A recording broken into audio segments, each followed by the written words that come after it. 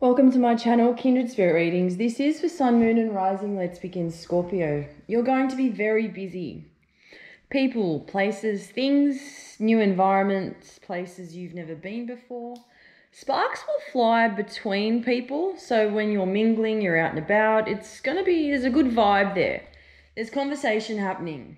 Uh, be careful you don't do or say something that creates a ripple effect, comes around and bites you, uh, that type of thing. If you know something and it's personal or you feel something, keep it to yourself because you could be telling the wrong person.